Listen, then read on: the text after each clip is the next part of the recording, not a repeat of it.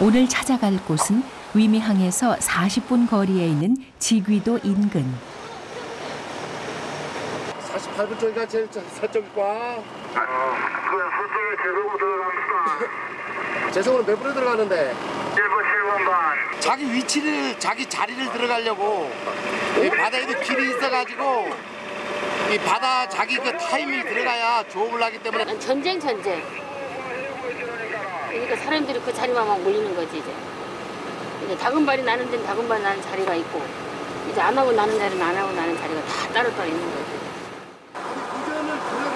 옥돔 어장이 한정돼 있기에 한시라도 빨리 달려가 낚싯줄을 내리는 것이 어획량을 결정하는 관건입니다.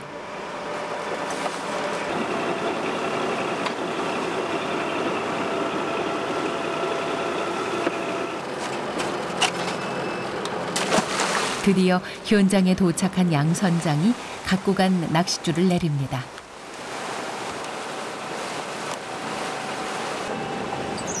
준비한 바구니는 모두 37개. 이 물개가 공이랑 다 해가지고 150가라. 150개. 눈이 한 350m 줄기를 해야 돼요. 한눈 350m. 양 선장 부부가 내려야 할 낚싯줄의 길이만 줄잡아 13km에 달합니다. 때문에 조금만 방심해도 낚싯바늘에 끌려가거나 줄이 엉킬 수 있습니다.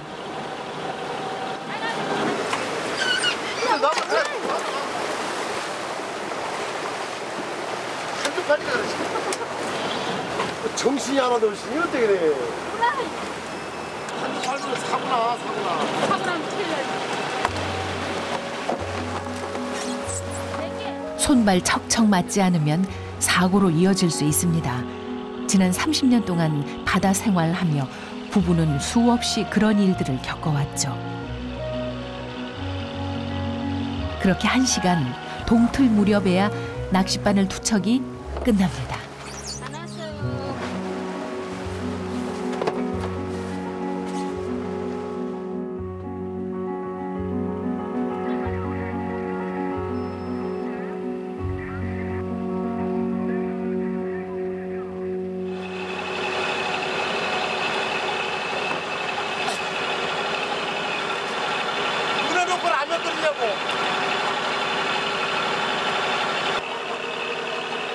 오늘도 4톤짜리 이 좁은 선상에서 부부는 아침을 해결합니다.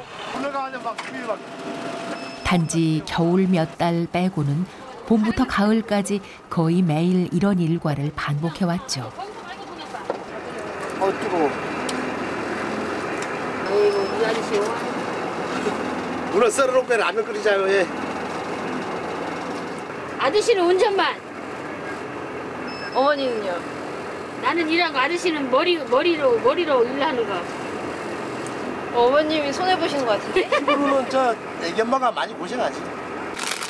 이거 이거 공지가 그릇이라 그래. 어이 그래서 사육 먹어가지고 고기 많이 잡으라. 잉? 알았지? 많이 먹고 고기 한 잡으라. 오늘 문어 들어가니까 더 맛있네 그 라면이. 아니다 풀린다.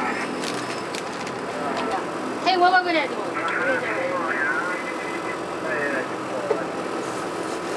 형사 그때 경우라. 굉장히 잘하지나. 어이, 이 정도면 말이야.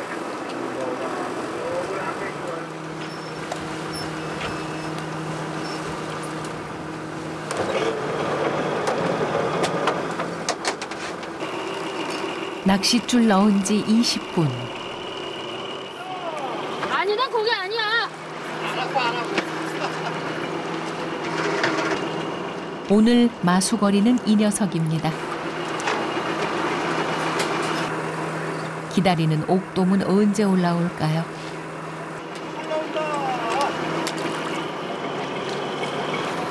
크다. 이어서 연신 뒤따라오는 옥돔의 행렬. 고맙습니다. 가요. 이거 이것이 바로 옥도 요즘 하는 솔라니 옛날부터 다갔으니까 저희도 쳤- 제주도 하면 솔라니까 우선권으로. 응. 옥돔. 제주산 옥돔은 진한 붉은색이며 눈이 투명하고 등 쪽에 노란 띠가 있습니다. 이 정도면 키로에 한 3만 5천 원에서 한 4만 원 정도 가요.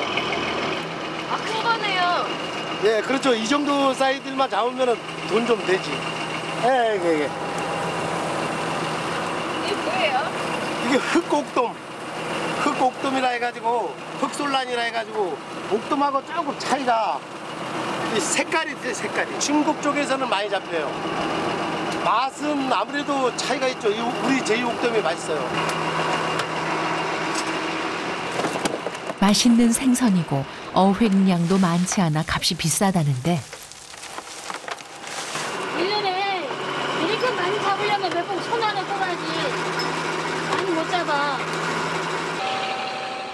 오늘 양 선장 부부는 그 귀한 옥돔을 100kg이나 잡았습니다. 저절로 신바람 날만도 하죠. 아구, 아구.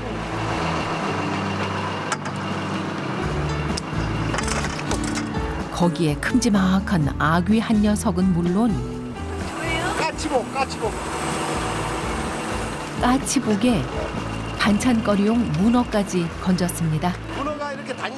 고기가 이 낚시에 물고 오면은 그걸 따먹으려고 같이 이렇게 붙어서 올라오는 거예요.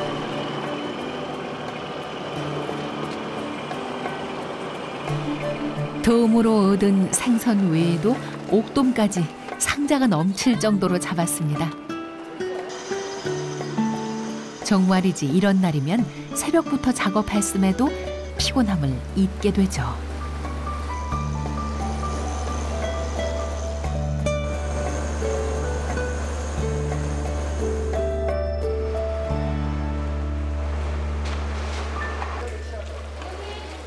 수레에 한가득 실린 옥돔. 옥돔 고르는 손놀림이 가볍습니다. 경매하려고 선별하는 거예요, 선별. 옥돔은 큰 녀석일수록 작은 것들보다 가격이 월등히 높습니다.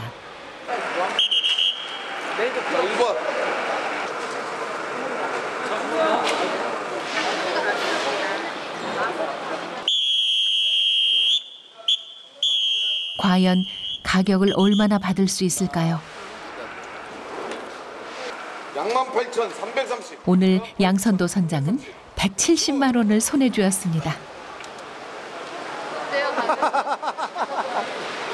잠깐 가격 이렇게 나- 가격이 조금 어저께보다 좀 하락 좀 어제 그저께보다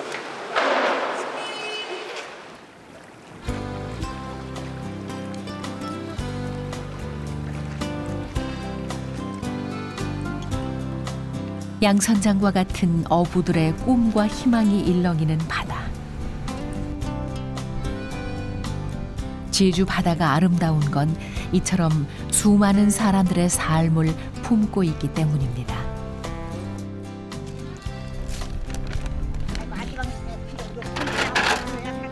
해녀들이 갓 건져 올린 싱싱한 해산물입니다. 이렇게 이렇게 나는데 알러 가서 배에서 저런 낭산이 담고 와야지. 양 아지방 나것도 하나 아직 없어 더야. 나간 클렁. 바다는 사람들을 부지런하게 만들었고 부지런한 사람들에게 바다는 더 없는 곳간이었을 것입니다.